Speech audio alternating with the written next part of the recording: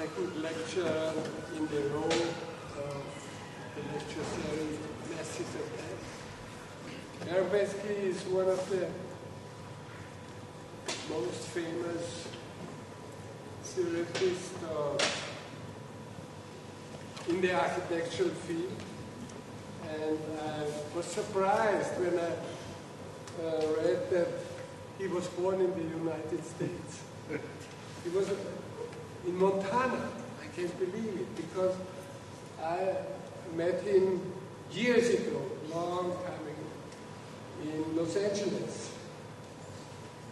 He actually moved to Netherlands and uh, graduated there, but he is an educated architect, degreed at Yale University. And then, and that doesn't read in the, in the biography, and then he worked at Frank Gehry's office, I heard. And he was working there, I think, two years. And then he left, and since then he's taking revenge on architecture. this is what he told me he will do today as well. He wrote uh, many books, and I would like to, uh, would like to mention three of them. Um, what is modernism? When was it? To be published. What is modernism? Writing in this time, you are very uh, uh, encouraged guy. Then he did in, in 2000, he wrote in 2000 uh, a book called Architecture Must Burn. And this was the first time he stole a title from us. The second time? What was the first time? Oh, not from you, I stole from someone. Yeah, also. So he is a guy who, uh, who is really talented to camouflage the ideas which are surrounding him. And uh, not so recently, in 1997, queer space. I think he will mention it all in his lecture, like he always is doing. Um, actually, he was, and then he uh, made the step to international importance. He was the director of the Architecture Institute in Rotterdam and made really fabulous and famous exhibition. Then he was the curator of architecture and design in this ugly museum in San Francisco, the Museum of Modern Art built by Mario Botta. He survived it um, very, very lively, I can see, and became the artistic director of the International Architecture Biennale in Venice. It was uh, four years ago, in, or three years ago, in 2008. He is teaching, uh, he taught actually and is teaching um, every important school in the United States and also in Europe, namely at this school years ago. And now he is still the director of the Cincinnati Art Museum. I would like to welcome you and I'm looking forward to hear what you have to say about the leaping whale kissing the sky. Aaron, you're still.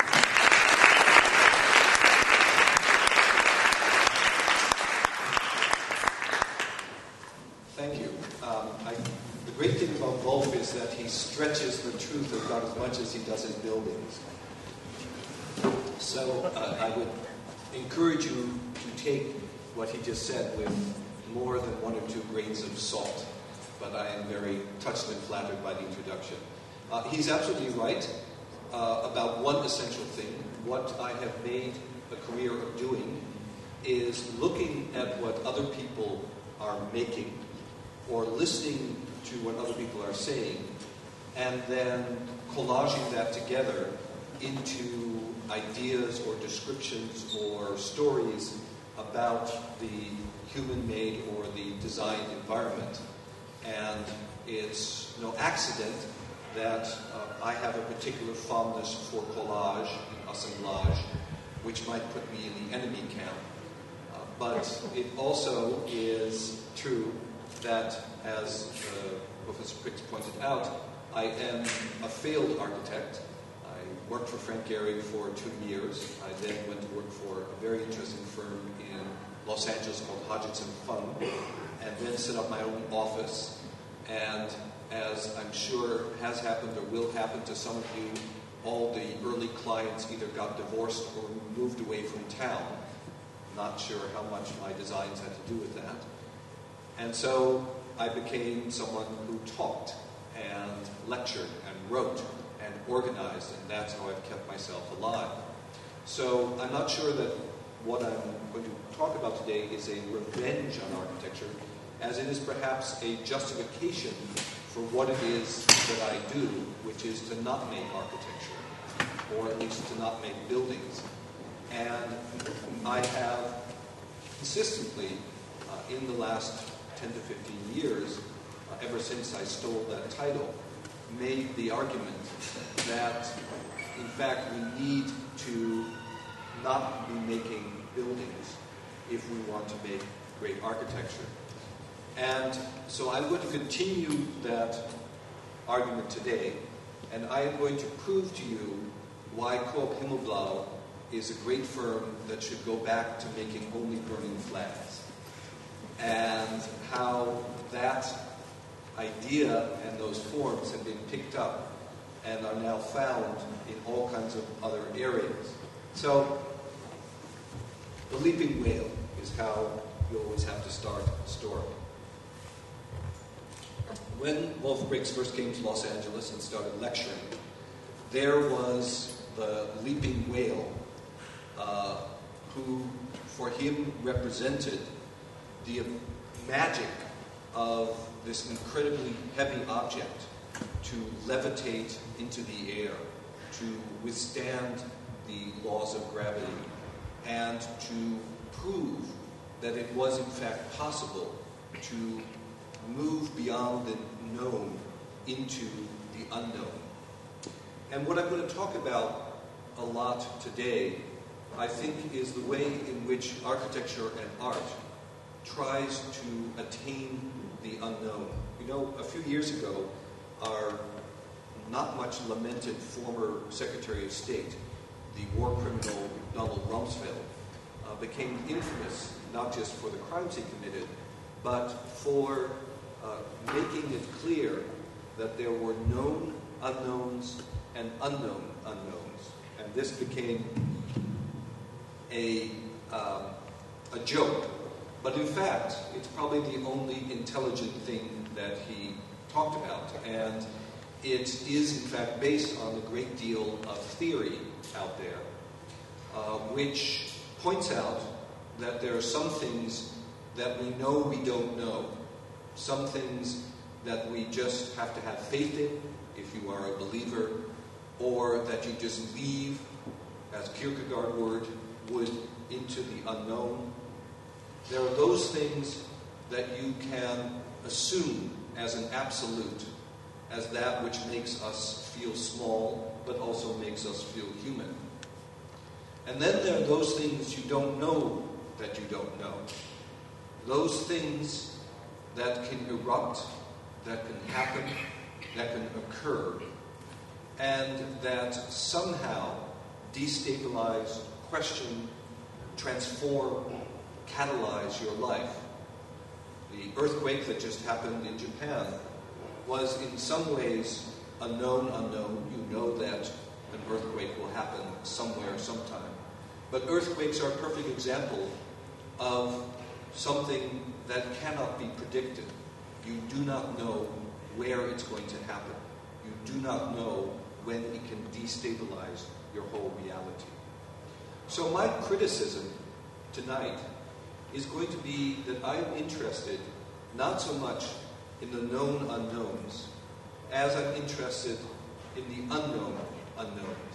What I'm interested in not just is in not just how this whale can leap, but how it can kiss the sky, or as I believe an alternate translation of that particular line from Jimi Hendrix could be, can kiss that guy. Now, this is a serious point of contention, which I, however, will leave for another lecture. The real question is that this is the known. And what I would like to do today, first of all, is to tell you about what is going out on outside of the world of the Angewandte. This is a little utopia, a little asylum, if you would like, for the architectural crazies. A place where people are doing incredible things and where students are learning strange things. But this is not what is going out in the world, um, on in the world. In the world, there is still everywhere the patient search for elemental form, the complete enslavement of forms seen in light. The rest of the world has as its center not the dark star of the Angewandte, but the white star of the Museum of Modern Art in New York. Now you might say, that's a very strange thing to choose as the real locus. But I would argue to you that there is no single other place in the world that sets more of the tone for the culture of art, architecture, and design than the Museum of Modern Art in New York. The Museum of Modern Art, in fact, has as its mission to not just tell you about modern art, but it says in their mission, we define modernism. That's quite a statement. It basically says, we know the correct way to translate modernity, the state in which we all live, into form, into image, into space, modernism, how we give shape to the modern world in which we live. And we know what that modernism is in painting, and we know what it is in design, we know what it is in architecture. And in architecture, it is our own building, which is a reductivist, bland, but perfectly well composed temple to elitist and isolated forms of abstraction. Several years ago, they decided they needed to be even bigger. And so they hired a mediocre modernist architect, Taniguchi, to design them a new temple. And Taniguchi, who is not a dumb man, said to them, Thank you very much. Now, if you give me enough money, I will make you a nice building. If you give me more money, I will make you a beautiful building. And if you give me enough money, I will make the building go away. So they gave Taniguchi reportedly close to a billion dollars. And he made a building that almost goes away. Unfortunately, not in a Miesian form way, but in a way that leaves the last vestiges of a kind of polite modernism hovering around these great masterworks that reside in this temple. I have a name for this kind of modernism. I call it W modernism. And I called it after the chain of hotels that is now spreading all over the world. They have a 40 plus in the United States and Europe and expanding all over Asia and the rest of the world. Now, hotels are a particular type, and maybe they don't have that much influence, but they are symptomatic because hotels, especially of this sort, are the places where the effective elite, everywhere around the world, comes to stay when they are doing their business. This is where they go to meet each other. For years, including in Vienna, the Hilton Hotel, and Wolf might remember this from his childhood, was the place where the elite would gather, where it was at one time even chic to be seen. It was an emblem of being part of a modern, global, international culture.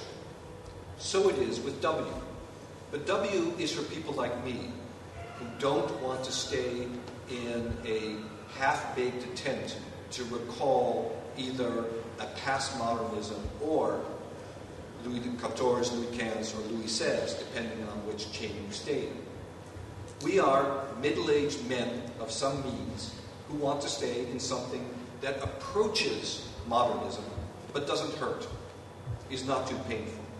And so, whether we are in Dallas or in Miami, whether we are in San Francisco or wherever all these other hotels are, and I quite frankly don't even know where all three of these are, you could find something that is not a good building, but that looks like modernism, that has all the elements of modernism. And this is what people outside of the Angewandte think is hip, especially when they walk in. The buildings are kind of bland and banal, but you know what? Most people don't care about buildings. A, that might be a shock to some of you, but most people don't notice the outsides of buildings. They walk by them and never crane up their necks. However, you walk in and you are surrounded. And W knows not just how to create a minimal modernism, but a theatrical version of that modernism. It stages the idea that we can all live in the lighting effects, in the formal compositions, in the sequences that 150 years of modernism have taught us. We can tempor- temporarily reside in good design with everything from Danish chairs to fake fur throws to the kind of exposure of the body that is so much part of the metrosexual culture that now dominates that effective elite. There are local variations. This is the W in Mexico City, where the bathroom, in a true homage to body culture, is exposed to the street and, in fact, stands between the bedroom and the street. The room is painted a hot red, and you can lie in a hammock on the porch that is an extension of the bathroom. But those kinds of variations are minimal. This is what it means to be at home in modernism. The mothership, the W New York, originally designed by David Rockwell, which takes all of the lessons that we've learned about how to control technology and how to control it not just in terms of where you place it, but also to use it to activate and unseen create a theatrical environment out of the world in which you live. So, what I'm trying to say is that we now live in this global culture where everywhere all around us, architects, good, bad, and indifferent, are creating fragments of an international culture run by the effective elite. Because, again, remember, architecture is, always has been, and always will be, the built affirmation of the social, political, and economic status quo. And when these buildings do become taller or larger, they reach for iconic stature and for big size and try to twist and turn themselves into some form of identity. But they are still just part of a forest of forms that looks the same from here to Bratislava to Berlin to Paris to New York to Los Angeles and even in poor old Cincinnati where I live. Now, good architects, young architects, architects who don't build very much, are obviously trying to push that particular language, are trying to think how we can reassemble those kinds of forms. They are trying to make forms that are so minimalist that they question the building itself. It is, in fact, possible to turn either a house or a parking garage into a piece of theater and to make people sit, sit up and notice that there is something here called architecture. It is, don't get me wrong, possible to still do some things that I would think of as pretty darn good building. And I give you here as an example the uh, China Academy of Art in Hangzhou, China, by amateur architects, which has a wonderful way of using available technology, existing vernacular prototypes, as well as standard lessons learned from Le Corbusier and from all the other great masters of Western architecture, and builds much of it out of recycled and reused materials. It is possible to react by going back to the basics. And at the fringes of the world of architecture, we in fact do see a number of architects who are trying to push architecture beyond the built affirmation of the status quo, who are not making a W style architecture, not even twisting it in any particular way.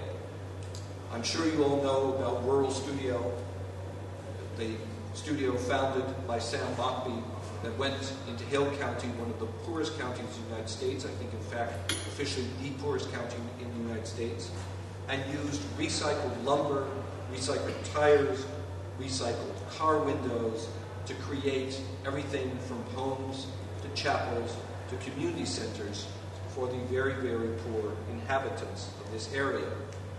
The work has a rough appeal. It is lived in even before it is finished. It seems like a happenstance assembly that yet is carefully controlled by the, comp- the compositionary skills of the studio and its studio leaders. I believe at the fringes of architecture, there are people who are pushing and pulling, stretching and deforming forms, such as Smiljan Radić, here working in rural Chile.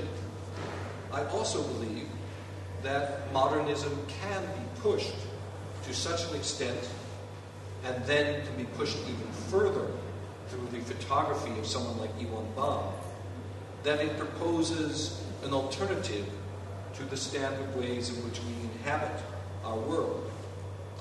I also think that at the fringes of architecture, there is much to be done by not building, but by unbuilding.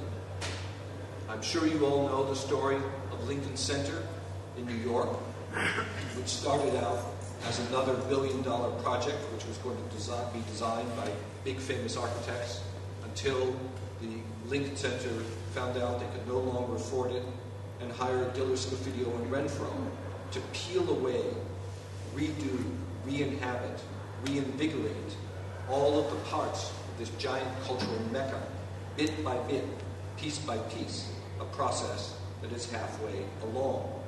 And of course, that same firm, Diller Scofidio Renfro, did what has become the most popular architecture in New York by far, the new park that was built on the High Line, the former trail, train line in Manhattan. Cruising through buildings, allowing other buildings to rise up because of the reuse of this as public space, but more than anything else, making us aware in its design and through the views that it, that it gives of the reality and the history of the place. What interests me is that these are architectures that look back and that look around, that gather together, rather than trying to twist, twist particular types into something that we already know. There is experimentation going on. We hope that someday, even though he's not a particularly nice person, someone like Francois Roche will get a chance to build a building that does indeed collect dust and transform itself as such. We hope that the kind of students who show their work on Sucker Punch Daily and sites like that will get a chance to create their organic clouds hovering over parks and cities. I have a small prediction to make, one that maybe I hope does not predict the future of Professor Prix's chair, and that is that postmodernism is coming back. I would suggest that you all go out and get your old James Stirling, if anyone even remembers who that is, Michael Graves, and all the other people's books. Because even the kind of people who are stretching uh, form through the use of computers are reverting towards the fascination with how we can use types and prototypes and how we can use the rendering process itself to build memory, place, recognition, stories, perhaps even jokes, into our built forms. Postmodernism will come back. It is even already showing up in some of the colors and in some of the forms of one of the other studio professors here in the Sacrum Sanctorum of the Angewandte. I would say, and I argued this with Professor Lynn, that there is quite a lot of postmodernism in his work. Not, of course, when it floats out into space. I wonder, in fact, what would happen if we realize that space will wind up looking not like this, like the sets, but like the sets for Avatar or the Star Wars movies. But this somehow is what we dream of. If the whale could leap far enough, high enough, it would become a spaceship and float up into the blue of sky and create this kind of fantastic architecture. It would move out into the blue of sky. It would create forms that would push existing technology and existing forms into something that we do not know yet, but in which we have great faith. I could end the lecture there, and we could all go home happy, knowing that postmodernism is upon us, knowing that most people don't care because they want to achieve a status where they can afford a night in a W hotel. And have a little bit of hope that students like yourselves will come up with things that are stranger than spaceships or leaping whales. However, I can't leave it there because I do think that there is a serious issue. And that issue is that we have to figure out where we are. We have to figure where we are at. And in the simplest form, that means knowing where we are in an environment that can be anywhere. Most of us at this point live our social life and obtain our knowledge through the internet or through other digital platforms. Now, the strange thing about these digital platforms is that they're highly corrosive. And I found this out, and I was trying to get some images of it, but I failed for a very specific reason. When I asked my students, where I'm teaching now, to design a digital equivalent of the Cincinnati Art Museum, which is where I'm the director, having fled from architecture, having failed at too many of these lectures. I went into art, run an art museum, and then couldn't help myself, so I'm teaching architecture. so I said to the students, design a virtual version of the Cincinnati Art Museum. It can be internet based, it can be an app, it can be a game, it can be a Second Life type of platform. What's most important to me is that there be a digital virtual equivalent to the art museum. We spent about a month on this and finally realized that it was a failure. And it was a failure because digital platforms, in the end, tend not just on a contingent basis, but absolutely towards speed, transparency, and indexality, which is to say, they seek to organize in as flexible and fluid and accessible a man- manner as possible. They seek to make that organization visible, absolutely, and they seek to do it at a speed that is such that you can't even notice it. It's great, except that when you are an art museum, you are trying to build, you're built around this very strange conceit, which is that you have originals, great paintings, great sculptures, great sofas that cannot be reproduced, that are material, and that you have to see to contemplate. That you have to get off your horse, stop for a moment, and concentrate, and look, and have an experience. And the whole building of an art museum is built on that experience. And I would argue for you that that is only an extreme version of the problem that architecture has. Namely, that it, if it focuses on making buildings, will be condemned to being useless as the kinds of speed, indexality, and transparency that are inherent on a society that is based more and more on this global network of available information as that progresses even further. There will be no need for buildings. I take that back. There will be a need for buildings as warehouses. Warehouses for people to work or sleep in, as warehouses for goods that get ordered through the internet, as warehouses for spectacles in which Justin Bieber can play in the giant dome that was intended to display art at one point. Hangars, flexible space, in which architecture is corroded out by financial considerations, by the necessity for the speed of getting your money in, building, getting your investment out as quickly as possible. As rules and regulations and standardization take over the world of architecture, we are nowhere. We are left without space. And making architecture digital will just speed the process up because all of the fanciful imagination will be leached out by speed, transparency, and indexality. And someday I will argue this with Patrick in person. What I argue that we need are mandalas,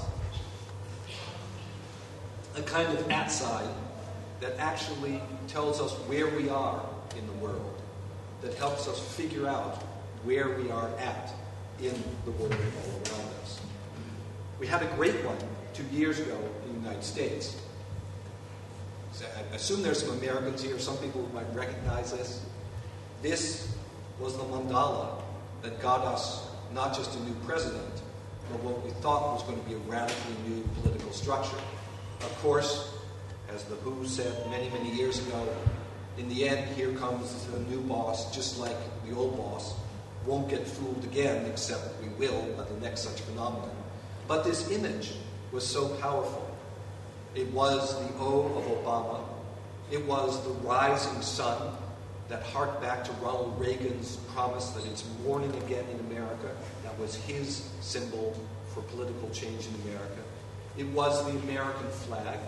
It was the great road towards manifest destiny, the idea that in modernity, anything is possible if you just keep working and building towards some unknown, known, unknown future.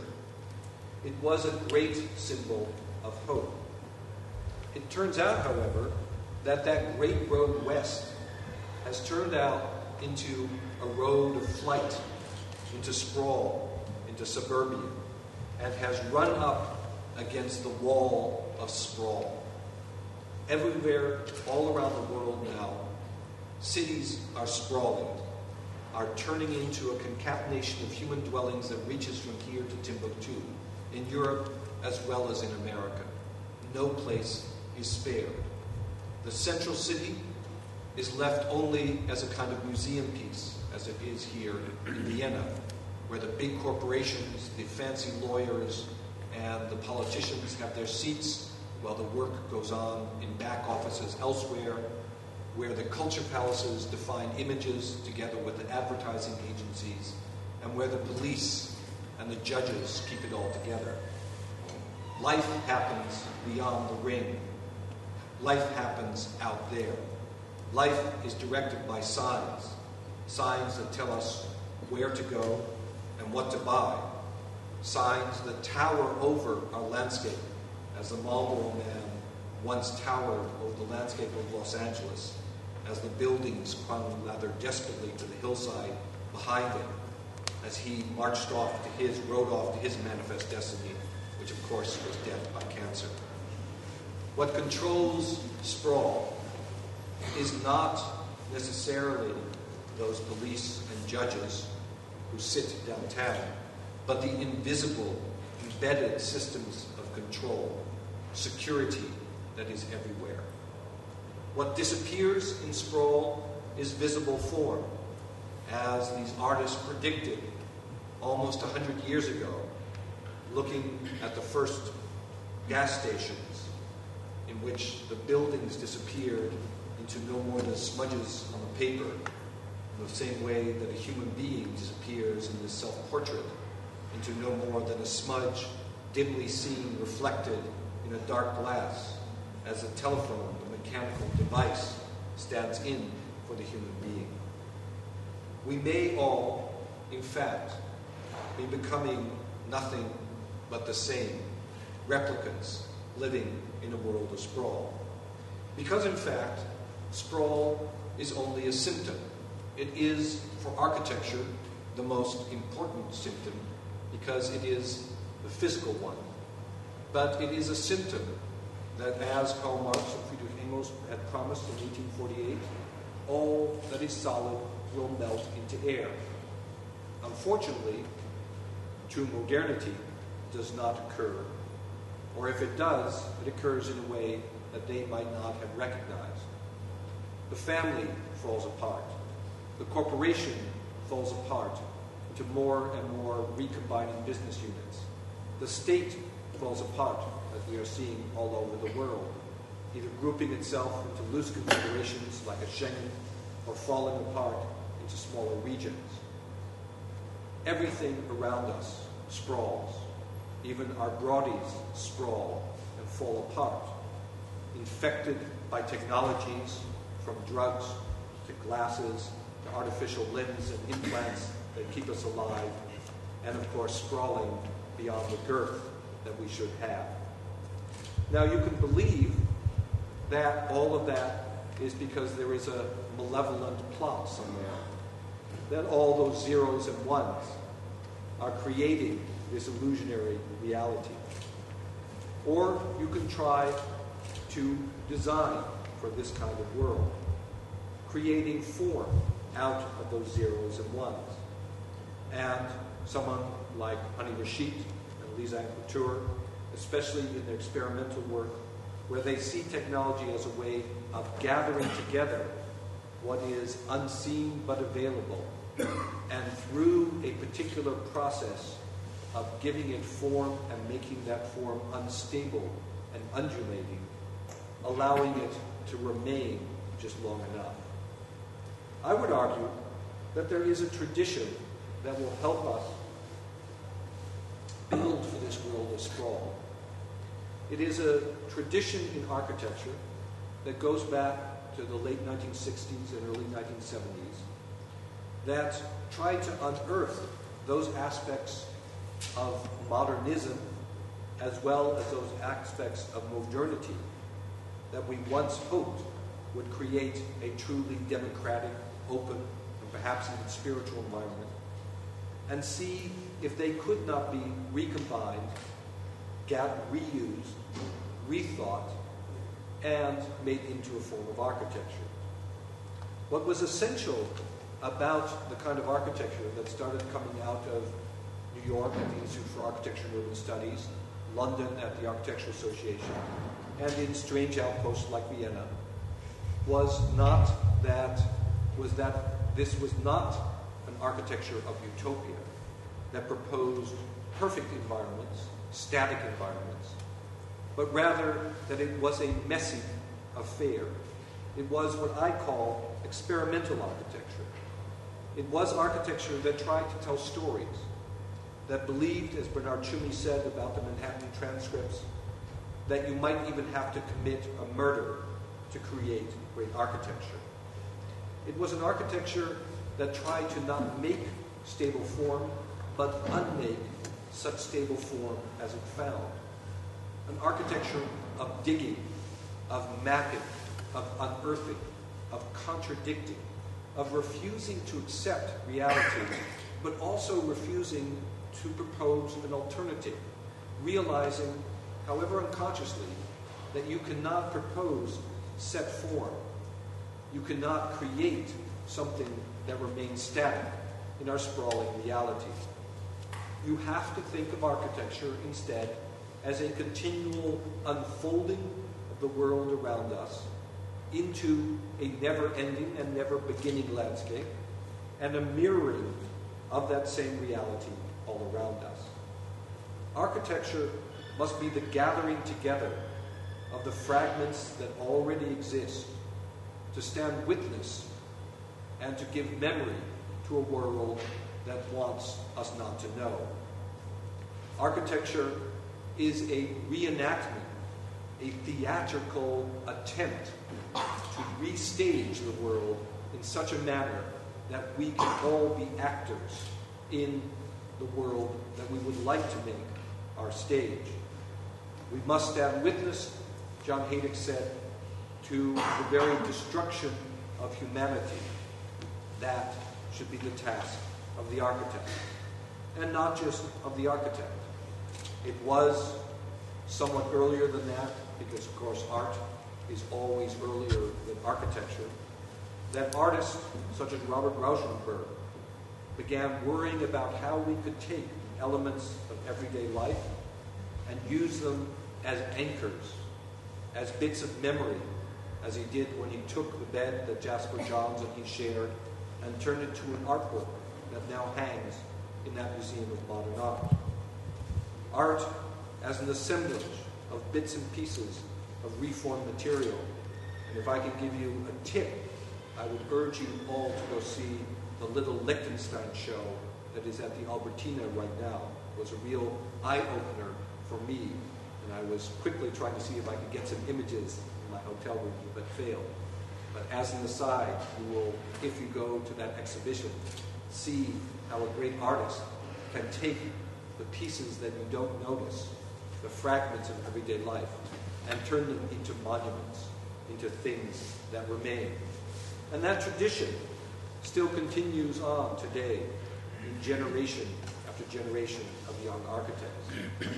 It is a tradition that looks at unbuilding, at opening up, at moving through the buildings of Vienna Bratislava, that imagines, as Lebbeus Woods put it, an an-architecture, an architecture that refuses order, that refuses structure, that might already exist somewhere in underground Berlin and might someday come shooting out, destroying the world around us like a leaping whale, that might turn out, turn into an unfolding or into a disturbance of weather that vibrates as you move through it. It is in that tradition that I first got to know and love the work of Paul Himmelblau, a tradition of open architecture, of the open heart, the open eye, and the open mind. The open eye, seeing where you are, looking at your environment all around you, refusing to accept what you have been told and instead having your eyes wide open. The open heart, an architecture that is open to humanity and open to things that cannot be articulated by logic. And the open mind, an architecture of leaping whales. It's an architecture, ooh, oh my God, something strange happened here. I'm sorry, this did not show up on my computer. There is a true instability in this architecture. Uh, it is propagating itself into fragments. Maybe I'll I can figure out how to do that.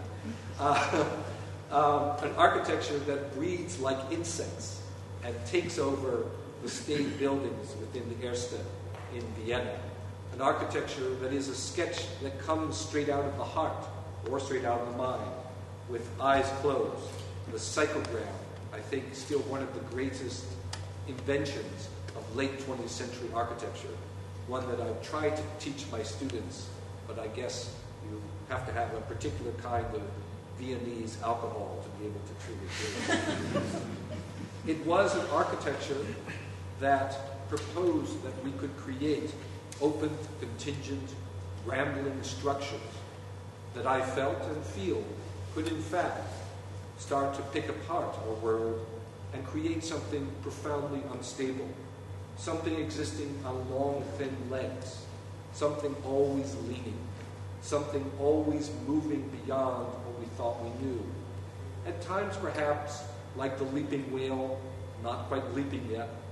At times, like a star that has come crash down to ground, or, as it's supposed to be in the case of the slide on the bottom, like a guitar riff playing against the noise of the city trying to be heard. At its best, of a fantastical complexity and of a daring cantilever that always refuses to accept gravity, accept what engineers or financiers tell you you really can do. And in fact, it's a great tribute to Coop Himmelblau that so much of these leaping whales were built and now have started to pull apart the sensible and staid world of even somewhat neo-fascist cities like Munich. Even in my own little Ohio, in the dying town of Akron, there is a giant sailing roof that leaps above the ruins of what used to be the tire capital of the world. And if the galleries are not skylit boxes, it is the curators who are to blame and not the architects. It is, however, always difficult to let the whale leap, to be able to truly kiss the sky when the budget is holding you down to earth, when codes are holding you down to earth, when you can't even see this building. These are horrible photographs because when I went to the school, I was escorted out under armed guard as I was trying to take photographs. This is an architecture that remains reserved. I have great hope that these structures will continue to leap and will continue to undulate away from what we know. But I am also worried because now Coop Himmelblau has become the establishment. Coop Himmelblau has become a large firm that does important buildings for the effective elite. And can they twist and turn their way out of the constraints that this particular place puts them into? Hans Haacke put it, I think, best when he adorned the fragment of a building that was to be torn down to make place for the atrocity that is now Potsdamer Platz, with a work of art that said merely Kunst bleibt Kunst. Art remains art.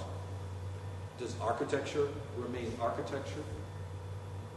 Can buildings still be architecture? I hope they can, but I think that there is a danger that architecture will always somehow, when it turns into buildings, become appropriated and perhaps even misused. So I am still interested in experimental architecture. I don't care how big Himmelblau is. I don't care how many big buildings they are making. What I care about is that they can still make brains. Brains that feel the pulse of your blood inside of you that they can still create cities that are maps of the mind. And I would say that I hope that Coop Himmelblau, especially now that Professor Prix has been liberated from the care and feeding of so many needy students, will be able to pick up again on this experimental tradition.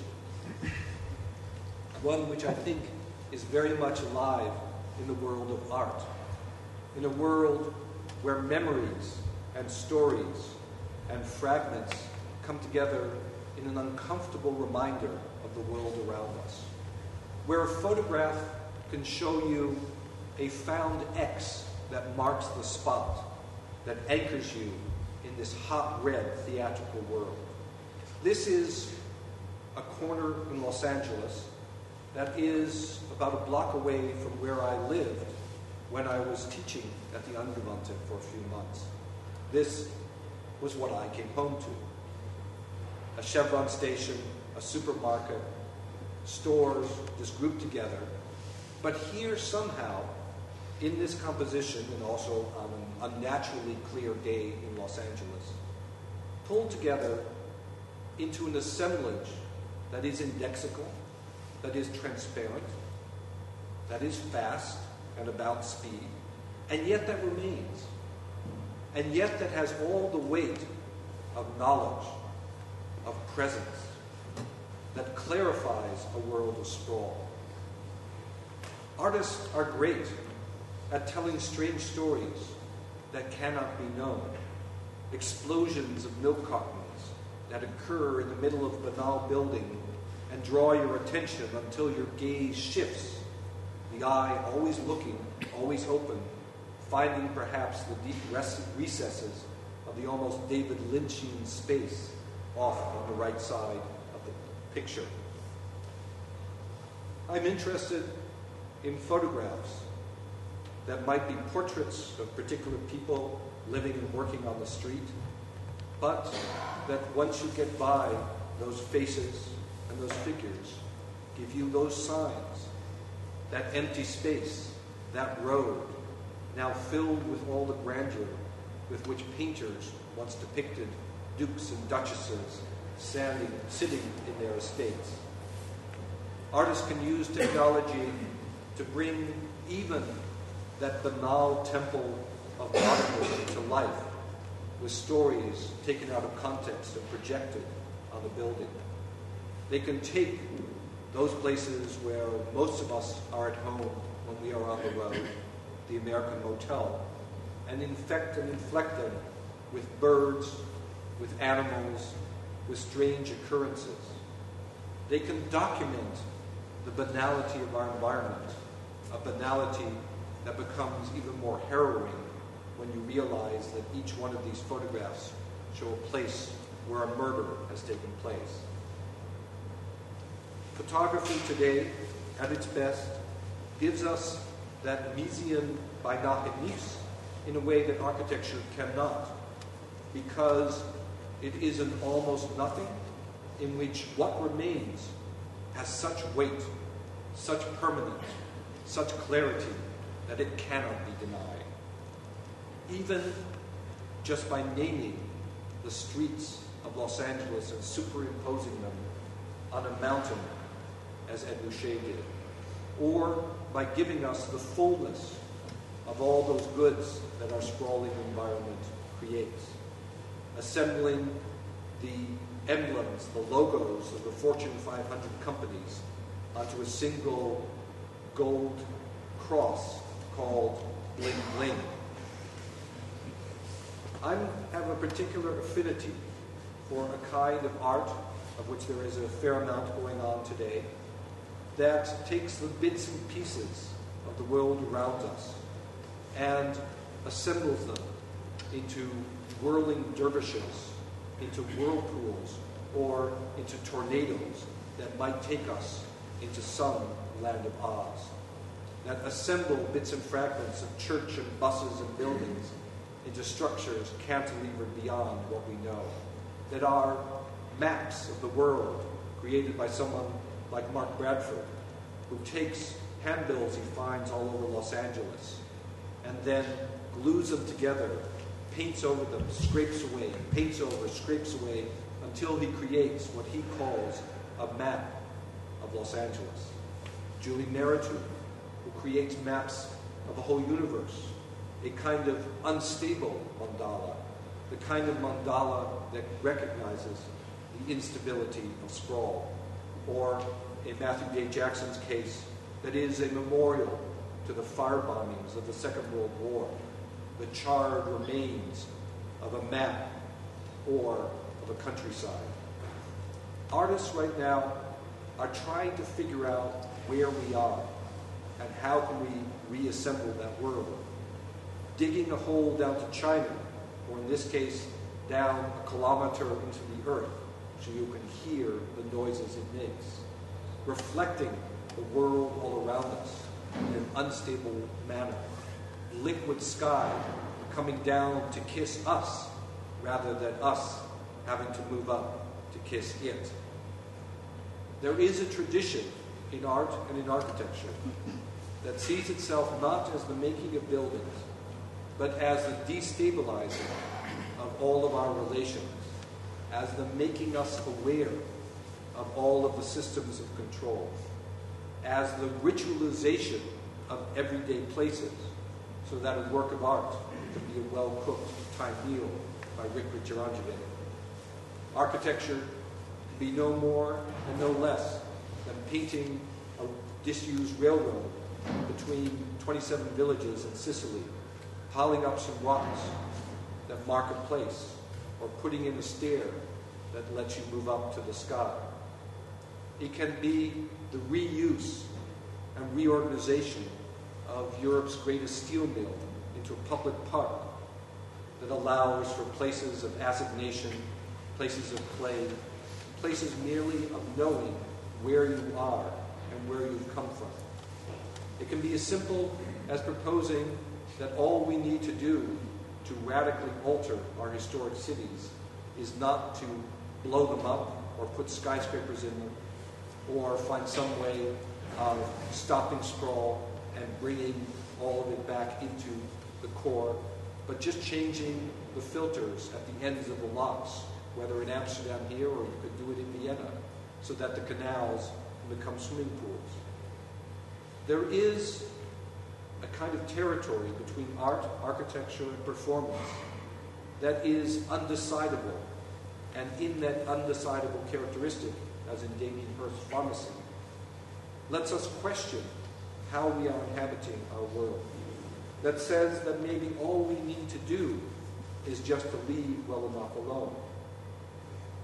To merely make us see what we already have, rather than to build more. What remains is the ghost, insistent and seen perhaps out of the corner of your eye of the world around us. A reminder to look around you. What remains is a hole in reality, a blowing up that cuts through in the tradition of Botta Clark, the world as we know it today. What remains is a kind of fog, a cloud, something that cannot be known, that hovers on the edge of what is constructed. I think that Frank Gehry, of all people, had a good name for it. He called it a fish. The fish, when he started building them or making them, was, on the one hand, a commercial project, a lamp. On the other hand, it was a very personal memory from his childhood when his grandmother would get a carp once a week and put it in the bathtub where he would play with it until it was taken away and turned into gefilte fish for the Sabbath meal. But that's a cute story and one that reminds us how important memory is. But the fish, more than that, is also, as Frank Gehry points out, slippery and smelly. It is something that is not a building, something that, in fact, inspires building, something that reaches for perfection but is not a circle or even an oval, but something that is more difficult to catch, a kind of built psychogram. So when I directed the Venice Architecture Biennale a little more than two years ago now, I asked a whole number of architects what I thought was a very simple question. Namely, how can architecture reveal, appropriate, and domesticate those systems, which are mainly of the technological order, that define the world that we live in, that world of sprawl, and how can it do so in such a way that we can be at home in that world of sprawl? And Ante Lu created an armada of air conditioning and air purifying units, pointing out that, as Rem Koolhaas has said, all conditioned space is conditional, and ultimately what we do is create a conditioned space. Across from that, uh, Studio Asymptote created these hybrids between vehicles, bodies, and buildings that alter in appearance as the light changed continually around and above them. And Frank Gehry even made what I thought was this very moving piece harking back to the days when he said that a building under construction is much more beautiful than when it is finished.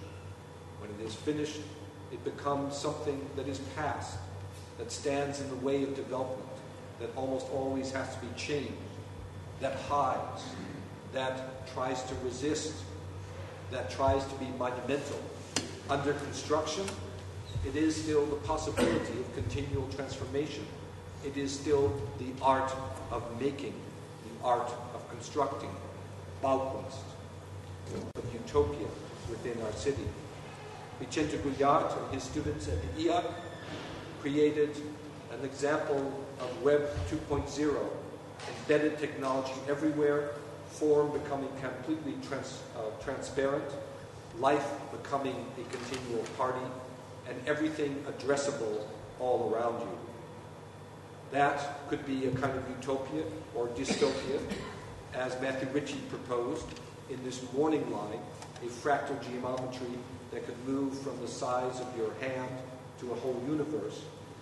Or it could be the building blocks for a future building or city that is made up out of children's toys that are cut apart by laser technology and reassembled using the algorithms the computer develops in Greg Lynn's Golden Lion winning installation. In the end, uh, several critics pointed out that despite my attempt to honor the experimental tradition, there was something utopian about this whole exercise. So, in fact, we went back to Eden and built a garden. And Kathryn Gustafson reclaimed a bit of the, of the Arsenale to have a working version of the ecotopia we should all be looking forward to, as well as what I think is one of the most beautiful attempts to create an emblem, an at sign, a place where you can be in these gently curving, interlocking uh, circles made out of grass that were then surmounted by these helium filled clouds that she said were an attempt to visualize trailing clouds that flew behind Mary and the other saints as they moved up to heaven on the great frescoes of Venice, and obviously, I think, were a very light version of a leaping whale. Every, elsewhere in the Biennale, we collected that work which we thought was experimental, using found materials to create a new kind of and very usable space, reusing everything from highway interchanges to washing machines, proposing that some of the bits and pieces through which our sprawling global financial conglomerates work can be reused to create disaster relief. Proposing in that tradition that we can eat away at the monuments that we have inherited. Proposing that in fact we can bring joy, circumstance, maybe a kind of new Babylon back into the heart of our state cities. And of course, all focusing on the necessity of creating an architecture that builds with the land and that gives back to the land rather than using up natural resources. A new kind of utopianism did creep in, one that dreamed of an organic future without cell phones. An organic future that in which there could even be building blocks that would take over little bits of your city bit by bit, like this very inventive use of the quarters that you put into a parking meter to take, create a small park. But in the end, of course, it all looked a little bit like Avatar, and Hollywood always does it better. Architecture can only create these kind of theme park visions of what a future might be like if we can move beyond militarism. To me, the best structure, the one I thought should have gotten the Golden Lion, was one that I fought very hard for. This was the pavilion created by the, uh, Lith- the Latvians. Uh, sorry, Estonians. Estonians, sorry. Estonians. There must be Estonians here. Was bad.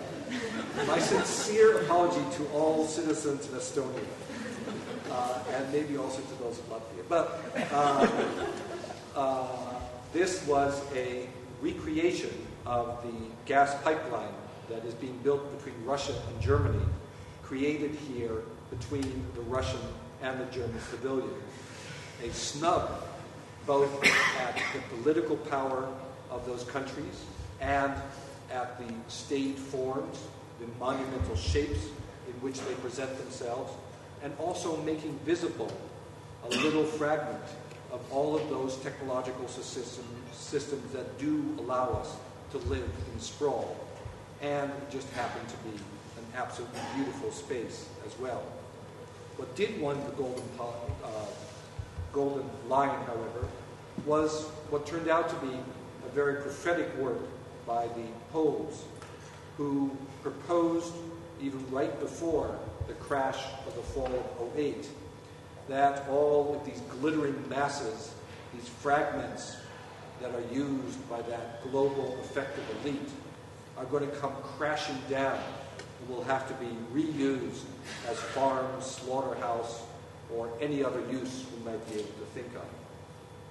I went, I went forward after that crash to create another exhibition at the IVA in Valencia. And I, seeing how late it is, won't spend too much time, but just point out that I tried to assemble those people who were trying to find ways in which we could make technology tangible and experiential, who were, in fact, assembling the bits and pieces of our sprawling world, as Elliott Hundley did here, into works of art that could allow us to know where we are today. And you might even recognize some of these pieces that propose a melting of the forms that we think are so fixed all around us. These were experiments in architecture and in art that propose that, in fact, architecture can be a continual act of figuring out, re-indexing, reassembling, rethinking, remaking the world around us.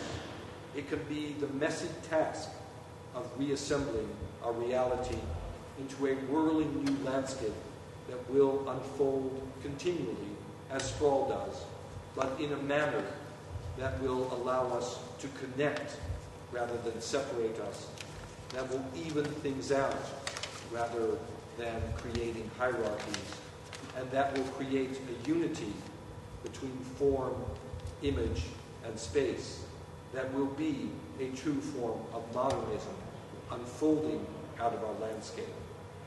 And so we had a whole series of experiments that proposed a new way of figuring out where we are, where we've been, and where we might be going. Maps of possible universes, places where we could go. And then I went back to the Venice Biennale last year when Sejima took it over and made an architecture that in many ways took, took the uh, discipline back to building, but also moved it even further beyond buildings as I had promised. She actually managed to get someone to create the cloud about Philippe which, of which Philippe Brun was only dreaming. She used artists with much more force than I had to show that they can create sensible space, experimental environments, truly leaping form with much greater success than most architects can. At that Venice Biennale, we saw the building blocks of what might also be a future world sprawling beyond the scale of the body, the scale of the city, becoming a continual landscape that moves and grows. But what moved me most in all of that Biennale was this installation by a Belgian group called Plot. Sorry, called Rotor. What's happening to me now?